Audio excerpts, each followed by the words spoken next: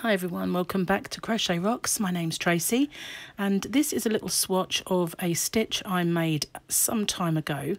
I wasn't sure at the time if I'd invented it or not and I invited people to tell me what it was called.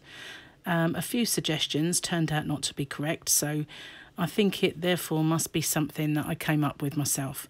It's quite textured, it's not holey, and I quite like it. And I made a blanket tutorial when I first um, came onto YouTube.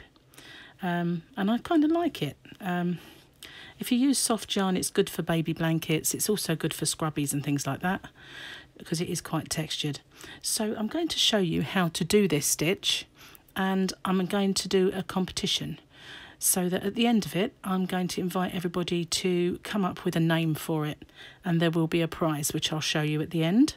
So, uh, for this particular tutorial, I'm using Aran yarn from Poundland. I've been using it on my tutorials lately, it's quite good to, um, to see. And that's a four weight in the US, and I'm using a six millimeter crochet hook. So I'm going to pull out some yarn. Bear with me a second. I pull out quite a bit. And I would normally leave a nice long tail, but it doesn't really matter because it's just a swatch at the end of the day. So we make a, a slip knot. And for this, we need an odd number of stitches. So we will make an odd number of chain and one extra. So I'm going to do 15 so that will be a total of 16 with my one extra.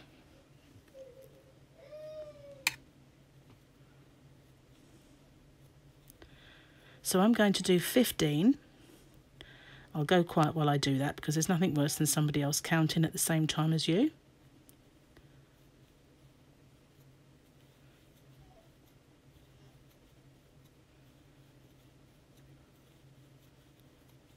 So that's 15, so we'll do one extra.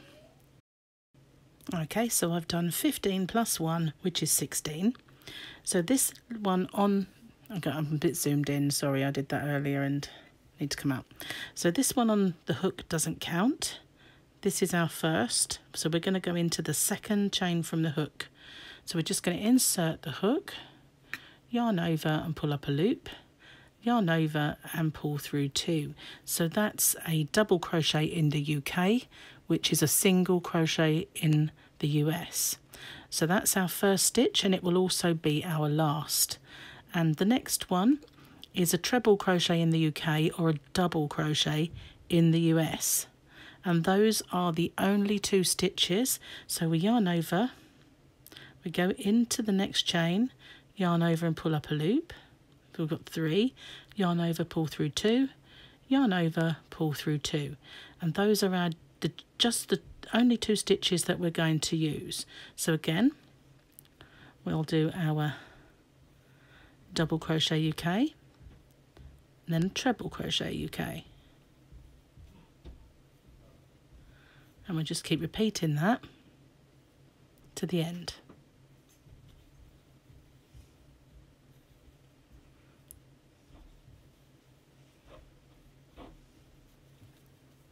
move my yarn. I hope you can see that. I'll zoom in. I just forget to zoom out again sometimes. I'll zoom in a little for you. So basically we've we've done our tall stitch. So we're doing our short stitch. The next one, the tall stitch and this is how we go on all the way to the end. I'll speed up. If I go ahead of you or you need to watch it again, then please do.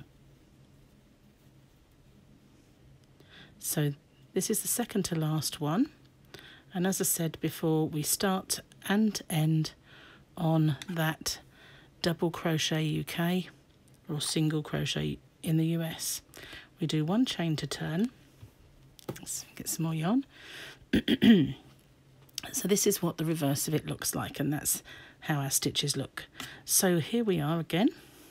Now this here we ended on our single crochet in the US or double UK and that is exactly what we do into it. So where we had a single crochet we do a single crochet. Where we had a double crochet we have a double crochet. And if that's the UK terms where we have a double crochet we have a treble crochet. It's very confusing having these different terms. I wish we didn't, but we do. So that's basically it. In our short stitch, we have a short stitch. In our tall stitch, we have the tall stitch. And we go all the way, oops, nearly did it wrong, all the way to the end, and that is the repeat. And as long as you start and finish with the smaller stitch, which obviously is a single in the US or a double in the UK, then job's a good one. So I kind of like the texture of this. It's nice for a blanket. There's not holes, it's lovely and warm. And it's nice and textured and bobbly. So when I get to the end, and I only do this with the uh, this particular stitch, I go into the last turning chain. If I can get into it, which doesn't look like I can, I'll try and get through it because that gives you a very, very straight edge.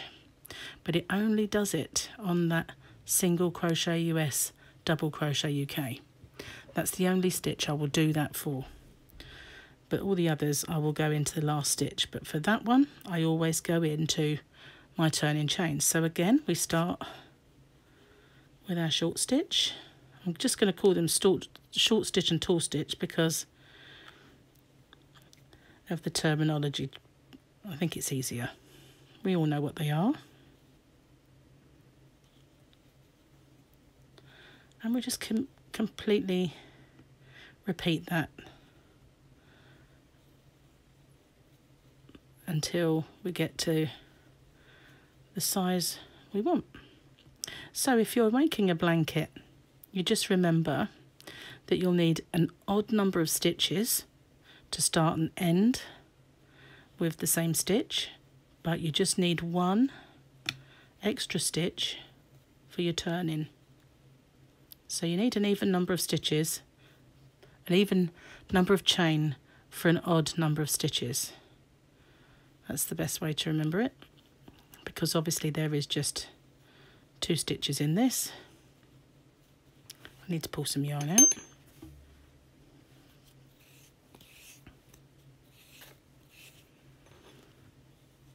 It does eat the yarn quite a bit, I would say, because it isn't holey um, and it is quite a dense stitch.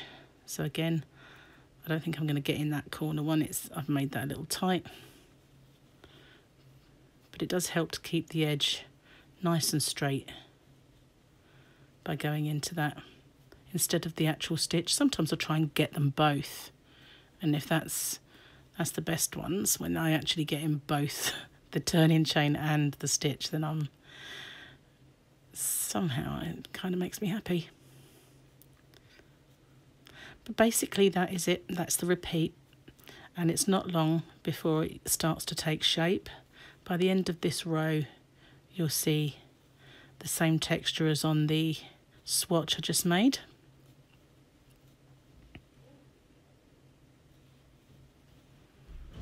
I really like this stitch. I made a lovely uh, baby blanket and it, and it was such soft yarn. But you can make it with rougher yarn and do scrubbies, which is what I like about it. Not that I've ever made a scrubby. I still never have made a scrubby or any kind of washcloth. Right, so I'll pull out my, and there you can see it's just taking on that. What I like about it, it's kind of like a, a kind of a box of bubbles. I'll show you on the larger swatch. I just like the texture, I like the way. And if you do it in a smaller hook with um, DK yarn, it's much like a neater bobble but I kind of like it in whatever yarn I've done it with. it's always the same. It looks nice and chunky too. So that's it, basically. Very easy stitch. Just remember when you've done your short single crochet US or double in the UK, you're going into that stitch with the same stitch.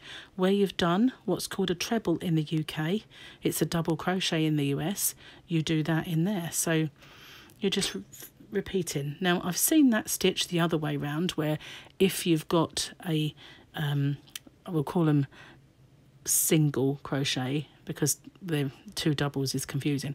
Where you've got a single, you go you do a double, and where you've got a double, you do a single. I've seen it that way round, but I've never seen it this way round. But I really like the way it turns out.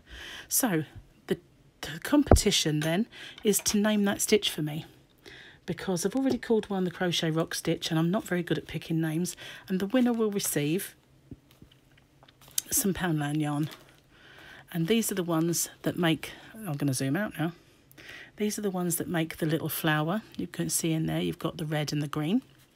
And it's very popular. This one, I believe, don't know if it does. I think it, it either does or it, I think it does. I'm not sure, but I can't see it. But if not, it's just colourful. And so there's two 50 gram skeins of this one, two 50 grams of that one, and two of the brights. So six skeins in all. Oops, don't want to lose it down there. Dusty down there. So yeah, there's those. I haven't got big enough hands to do this. Always hate my little hands, but there you go. So that's what the winner will receive. And this competition will run until the end of January. We'll give you a while to come up with a name. Um, and uh, Thank you for watching. The rules are that you have to be a subscriber to my channel to enter.